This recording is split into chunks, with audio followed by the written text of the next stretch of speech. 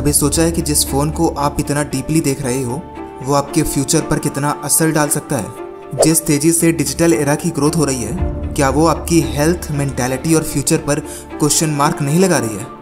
ज़रा एक कहानी सुनिए। एक लड़का, जिसका नाम सौरभ है, वो एक कॉम्पिटेटिव एग्ज़ाम की तैयारी करता है। एग्ज़ाम की तैयारी के लिए सौरभ शहर आता है। साथ में कुछ कपड़े खाने के साथ कुछ किताबें, एक फ़ोन और एक लैपटॉप लेकर घर से इस उम्मीद से निकलता है कि एग्ज़ाम की तैयारी करके एक अच्छी सी जॉब लेकर घर वालों का नाम रोशन करूँगा। पर ऐसा क्या हुआ कि पिछले दो सालों से सौरभ शहर में रह रहा है, पर अभी तक उसकी तैयारी ज़ीरो पर ही है। ऐसा क्यों? दरअसल शहर आते ही सौरभ एक ट्रैप में फंस गया, जिसे the addiction of social media कहता है। सौरभ का रूटीन बिल्कुल सेट है। कब क्या करना है, बिल्कुल फिक्स्ड है। सुबह दस बजे सोकर उठना, बारह बजे तक तैयार होकर बैठना और लैपटॉप ऑन करके मूवी देखना। तीन से चार घंटे मूवी देखने के बाद खाना पीना खाना, उसके बाद थोड़ी देर आराम करना, फिर शाम हो जाती है और फिर फ़ोन में तीन से चार घंटे गेम खेलना, रात में एक दो घंटे थोड़ी बहुत पढ़ाई करके रात भर फिर सीरीज़ देखना और रात में दो तीन बजे सोना और अगले दिन फिर रिपीट ये है सौरभ का फिक्स्ड शेड्यूल पता है, आज इंडिया का मैक्सिमम यूथ यही कर रहा है। वो सोता है और इतना सोता है कि सो सोकर थक जाता है। और फिर उस थकावट को मिटाने के लिए वो फिर सोता है। हाल ही में आई संयुक्त रिपोर्ट ने एक ऐसी चीज़ सामने लाई है, जो बहुत इंपॉर्टेंट है। पहली बार आधे से ज़्यादा भारतीय इंटरनेट का एक्टिवली यूज़ कर रहे हैं, जो कि लगभग 759 मिलियन है। वहीं फ्यूचर की बात करें तो ये संख्या 2025 तक 900 मिलियन तक पहुँच सकती है। वहीं इस बात का भी अनुमान है कि भारत की इंटरनेट अर्थव्यवस्था 2030 तक एक ट्रिलियन डॉलर तक पहुँच सकती है। ये आंकड़े एक ऐसी तस्वीर पेश करते हैं, जो कि अच्छाई के साथ कहीं ना कहीं भयावह भी है। भारत दुनिया का सबसे बड़ा डिजिटल समुदाय बनने के लिए तैयार है। पर इसका असर क्या होगा? ये कितना खतरनाक हो सकता है? समझते हैं।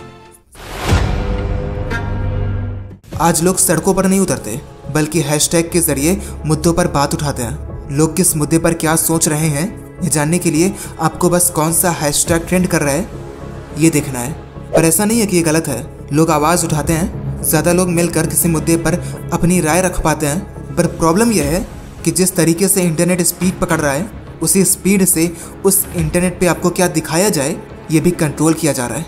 ऐसे में हो सकता है कि पेड एडवर्टाइज करके आपको गलत चीज़ दिखाई जा रही हो और आपके माइंड के साथ जानबूझकर खेला जा रहा हो, क्योंकि हम जो भी इंटरनेट पे कंटिन्यूसली देखते हैं, उसी को असलियत मान लेते हैं। पर पीछे का गेम हम कभी समझ नहीं पाते। So be alert. क्योंकि हो सकता है कि आपके माइंड के साथ खेला जा रहा हो।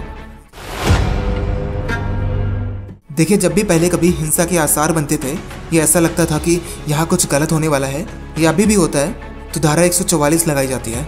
पर जब वही चीज़ इंटरनेट पे होती है तो ऑप्शंस बहुत ही कम हो जाते हैं।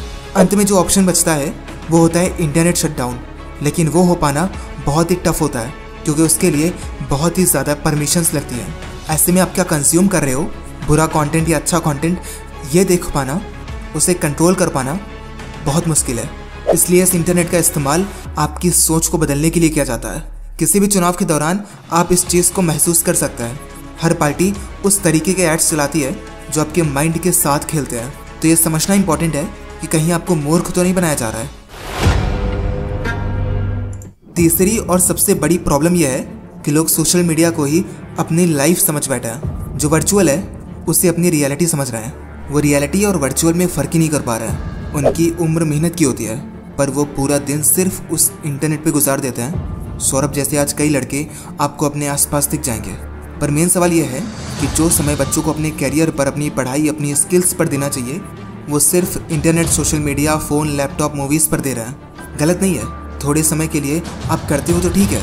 पर अगर पूरा टाइम इसी में जा रहा है तो आपको सोचने की ज़रूरत है।